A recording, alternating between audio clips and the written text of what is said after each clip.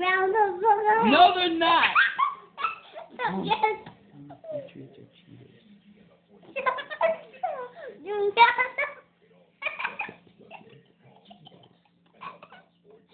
Okay.